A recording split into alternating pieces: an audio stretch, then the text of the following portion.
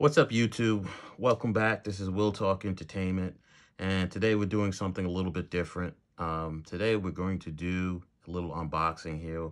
What you see here on my left is the S22 Ultra.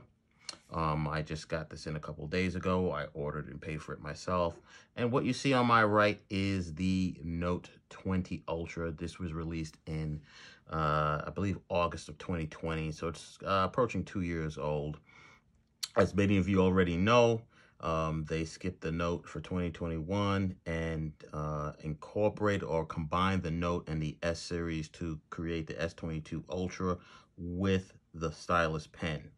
So uh, we're just going to do a little bit of an unboxing here, and um, we're not going to go too in-depth with specs. Um, as you know, there's probably a million unboxing videos of this of this particular phone.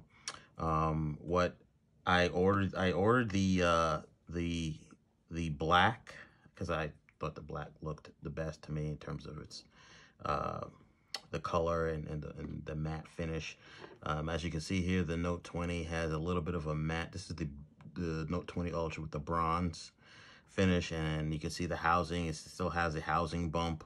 Um, they went in a completely different direction this year. They removed the housing bump. Um, you still have the cameras, but you do not have the bump anymore. All right, well, let's move forward with the unboxing. Take it out of this box.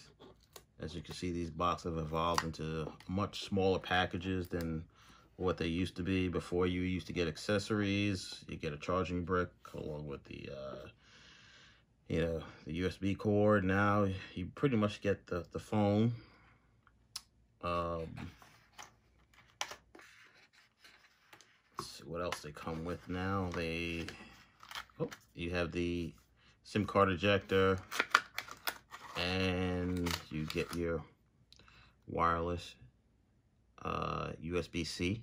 So we don't have the USB, the old USB um, uh, plugins anymore. You have two USB-C on each end, so that'll be um, the the part that you plug into the charging brick. But you unfortunately you have to go and buy the charging brick.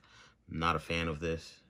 These phones are way too expensive for you to just get um, you know the connected wires without the charging brick. So I think that's trash.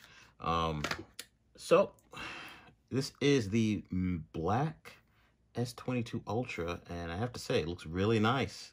Uh, I'm going to put both the cameras, as you can see. There's the, the raised housing of the Note 20 Ultra, and there's the uh, flat matte back finish of the S22 Ultra. I actually like this design a lot better because mainly because, you know, you don't have the rocking back and forth because of the way the housing was built on the Note 20 Ultra.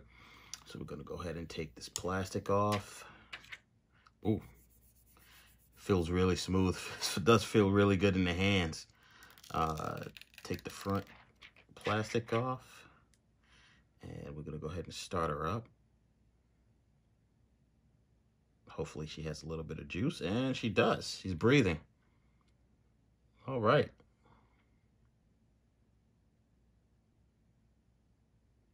So my plans are to uh, do a comparison. I'm actually taking, uh, filming this on an iPhone 11 Pro Max.